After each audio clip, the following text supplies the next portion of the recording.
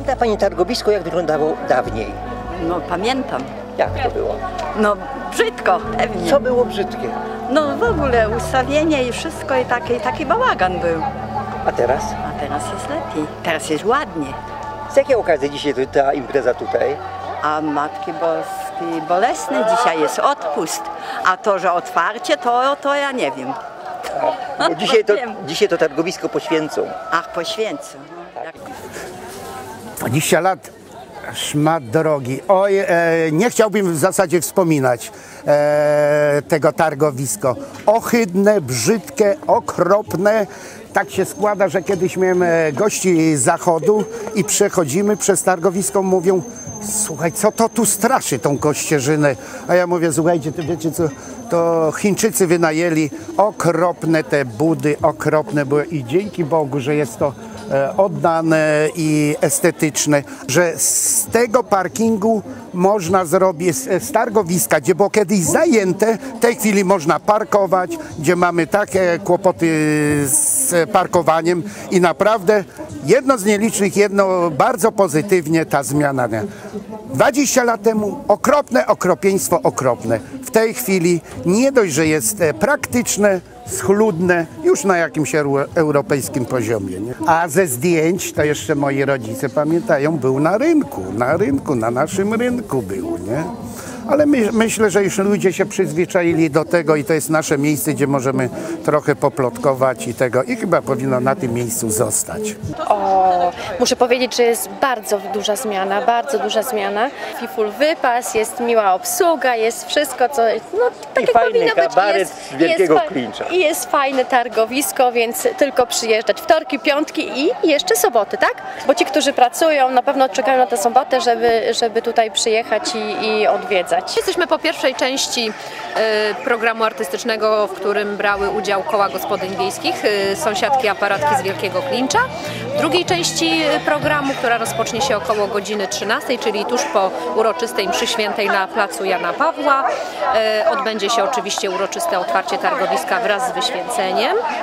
A potem, potem program artystyczny w wykonaniu naszej ludowej kapeli Dreche. Dzisiaj symbolicznie otwieramy nasze targowisko.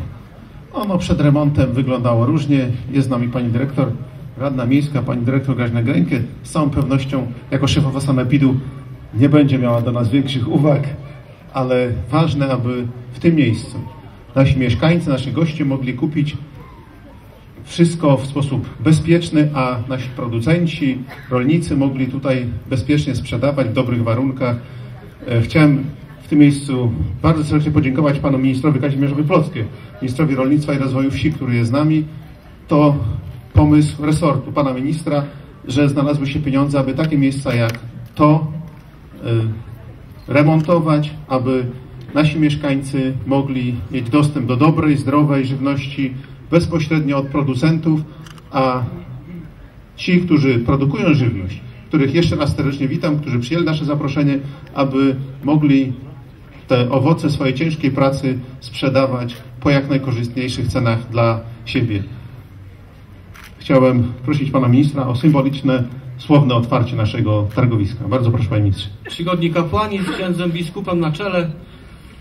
Szanowne panie i panowie, bardzo się cieszę, że mogę razem z wami dzisiaj cieszyć się tym, że program pod nazwą Mój Rynek zaczyna funkcjonować w Kościerzynie.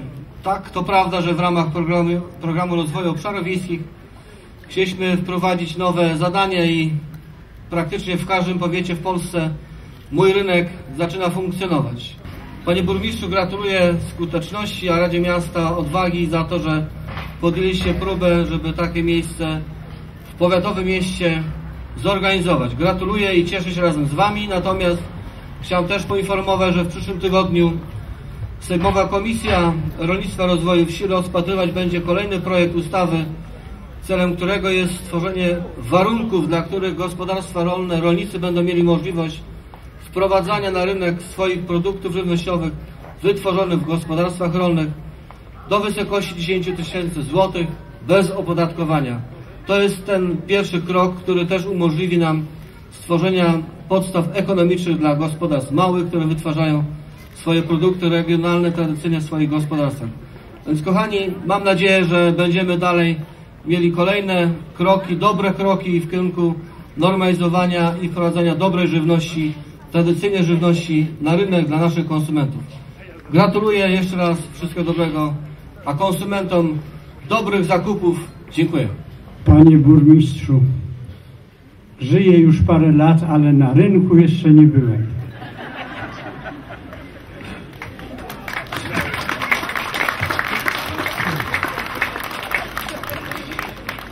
Co ci biskupi teraz robią? Będą pewnie kioski otwierać ze zdrową żywnością ale my nie jesteśmy od tej żywności. Bardzo się cieszę, że pan burmistrz, pan minister i inni przedstawiciele władz i lokalnych, i, i tych z najwyższej półki są z nami dzisiaj i radujemy się waszymi osiągnięciami. Życzymy, żeby ta żywność służyła ludziom, by im dawała zdrowie, a przy zdrowiu jest blisko dobro. To nam wszystkim jest potrzebne. Pobłogosław tych, którzy tu będą pracować, będą przychodzić, będą służyć drugiemu człowiekowi. Niech sprawiedliwie i z miłością zajmują się swoim zawodem. Niech przyczyniają się do wzrostu wspólnego dobra i do rozwoju doczesnej wspólnoty ludzi kościerskich, kościerskich przez Chrystusa Pana naszego. Szczęść Boże! A to trzeba teraz poświęcić, pokropić. Tego jeszcze też nie robiłem.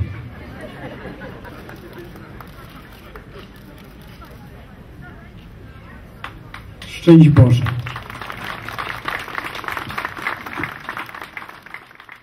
program Mój Rynek, program rządowy, w ramach którego można było pozyskać środki na modernizację kościerskich, y, modernizację targowisk w miastach poniżej 50 tysięcy mieszkańców. Myśmy z tego programu skrzętnie skorzystali. Pozyskaliśmy milion złotych e, z funduszy unijnych. Wyremontowaliśmy budynek, e, są poprawione warunki sanitarne, tak aby zgodnie było to z przepisami weterynaryjnymi, sanitarnymi, ale też zbudowaliśmy miejsca postojowe, zakupiliśmy nowy sprzęt. Sądzimy, że to będzie służyło tak producentom, ale szczególnie mieszkańcom, którzy mogą tutaj przyjść, zakupić zdrową żywność od, bezpośrednio od producentów w przystępnych cenach, bo to też jest dzisiaj ważne. Pieniędzy nikt nie ma za dużo, więc trzeba je zawsze oszczędzać i wydać jak najlepiej, a tutaj jest taka możliwość. Wspierajmy swoich, kupujmy u swoich, u naszych rzemieślników, naszych producentów. To ma, yy, to jest bardzo ważne. Mhm. Opowiedzmy sobie też o tym, o tej akcji e, Pierwszy Jarmark, tak? No chcieliśmy właśnie, chcieliśmy wejść z taką inicjatywą, aby te produkty y, były na stale, na stałe dostępne właśnie wtedy, kiedy ich najbardziej potrzebujemy, kiedy zbliża się zima. Więc wymyśliliśmy, że w tym miejscu będzie to dobrą tradycją, dlatego pierwszy kościerski jarmark jesienny. Jesteśmy u progu jesieni. Przy pięknej pogodzie wszyscy mogą przyjść, zrobić zakupy. Chcielibyśmy, aby ta inicjatywa się rozwijała, aby było coraz więcej wystawców, tak aby była coraz większa oferta dla naszych mieszkańców, aby na zimę mogli zakupić y, zdrowe produkty w przystępnych cenach. To uważamy, że jest wyjątkowo ważne, a przy okazji oka takie taki moment do dobrej zabawy, bo to też e, wiele się dzieje. Były koła gospodyń, jest też e, zdrowa żywność, można z tej żywności skorzystać.